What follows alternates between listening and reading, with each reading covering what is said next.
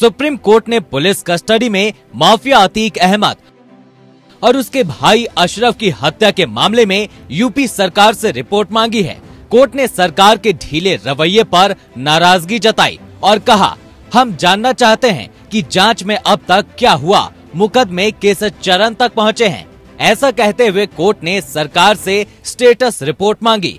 Supreme court ने UP सरकार से ये भी पूछा कि अतीक के दो नाबालिग बेटों को न्यायिक हिरासत में क्यों रखा गया है? अगर वो किसी अपराध में शामिल नहीं है तो उन्हें रिश्तेदारों को क्यों नहीं सौंपा जा सकता? माफिया अतीक अहमद और उसके भाई अशरफ की प्रयागराज में गोली मारकर हत्या कर दी गई थी। घटना 15 अप्रैल की है। पुलिस कस्टडी में जब अतीक और अशरफ को कॉलविन अस्पताल में मेडिकल चेकअप के लिए लाया गया था, तभी तीनों शूटर अरुण मौर्य, लवलेश तिवारी और सनी सिंह ने ताबड़तोड़ गोलियाँ चलाना शुरू कर दिया। घटना में दोनों भाइयों की मौके पर मौत हो गई थी। तीनों हमलावर पत्रकार बनकर पहले से ही अस्पताल पहुँच गए थे। इस घटना से दो दिन पहले अतीक का बेटा असद एनकाउंटर में मारा गया था। इस मामले में अतीक का परिवार सुप्रीम कोर्ट पहुँचा है। बहन आयशा नूरी और वकील विशाल तिवारी ने याचिका में डबल मर्डर की जाँच के लिए रिटायर्ड जज के नेतृत्व में कमेटी गठित करने की मांग की है। सुप्रीम कोर्ट ने सुनवाई करते हुए कहा कि ये सिर्फ़ हाई प्रोफ़ाइल केस का मामला नहीं है। ऐसी घटनाएँ जेल में भी हो रही है। वो कौन लोग हैं जो ट्रैक करते हैं? जेल से एक मिली भगत के ज़रिए काम किया जा रहा है। इस पर यूपी सरकार के वकील ने कहा कि अतीक अहमद मामले में एसआईटी चार्जशीट दाखिल कर चुकी है। मामले में तीन लोगों को आरोपी बनाया गया है। सुप्रीम कोर्ट ने यूपी सरकार के मामले को टालने की मांग पर फटकार लगाई।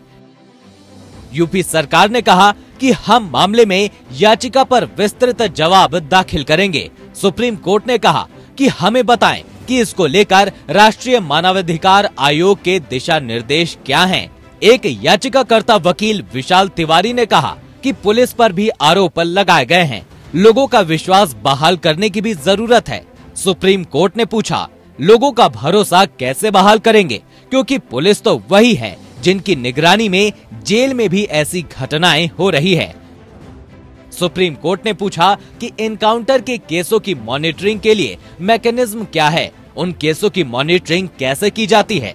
अतीक की बहन आयशा नूरी के वकील ने कहा कि अतीक अशरफ मामले में जाँच आयोग का गठन किया गया है। उसके बेटे असद के मामले में भी अलग जाँच आयोग का गठन किया गया है। उनकी जाँच में अब तक क्या हुआ, ये बात किसी को पता नहीं है। 24 फरवरी को उमेश पाल और उसके दो सुरक्षा कर्मियों की गोली मारकर हत्या कर दी गई थी। उमेश पाल बीएसपी विधायक राजू पाल हत्याकांड का मुख्य गवाह था। इस मामले में माफिया अतीक अहमद और उसके भाई अशरफ नामजद आरोपियों में शामिल थे। अतीक को अहमदाबाद की साबरमती जेल से और अशरफ को बरेली की जेल से पूछताछ के लिए लाया गया था। कोर्ट ने दोनों की कस्टडी मंजूर की थी। 15 अप्रैल 2023 को दोनों भाइयों को मेडिकल जाँच के लिए प्रयागराज के कॉलविन अस्पताल लाया गया था। वहाँ तीन हमलावरों ने अतीक अशरफ की गोली मारकर हत्या कर दी थी। उससे पहले 13 अप्रैल को झांसी में अतीक का बेटा अशद और एक गुर्गा भी पुलिस एनकाउंटर में मारा गया था। पुलिस अभी गुड्डू बम्बाज और अतीक की पत्नी की तलाश कर रही है।